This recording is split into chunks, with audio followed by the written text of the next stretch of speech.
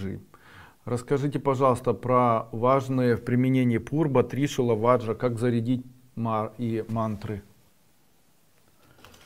Там, где находится такой предмет, будет ваша доминация. Допустим, вы пришли в коллектив, поставьте такой предмет Тришула, и заряжать его никак не, ну, не нужно, это символ вашей власти. То есть, если у вас есть, допустим, назначение, вы не хотите, чтобы, и хотите, чтобы у вас влияние было больше, то поставьте такой предмет где-нибудь, и вас уже с этой должности не сместят, и вы сможете продвигаться по должности. Заряжать его никак не нужно. Пурба, да? Сейчас я пурбу найду. Ваджра как ее заряжать, необходимо взять в руку и представить, будто в середине здесь появилось солнышко, а из левой части и с правой появилось два огненных сияющих луча. После этого необходимо поднять вверх и все.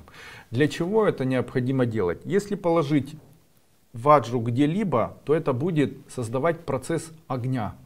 То есть будет подогревать ваши чувства в лучшую сторону, будут изменять отношения в вашу сторону лучше, то есть, если положить в семье, все мирятся. В случае, если положить на работе, все хорошо к вам относятся. Если во время медитации держать в руке или положить где-то рядом с собой, держать не обязательно, то тогда действие мантры, действие влияния каких-либо магических пасов и всего остального во многократно увеличивается. Какая мантра, которая может э, э, увеличивать, это Омара Мара Бимана Карам Махазавахум, Омара Мара Бимана Карама или просто э, э, Ом Ваджрахум. То есть убираю зло с помощью мантры Ваджры. С помощью Ваджры. Ну и Пурба.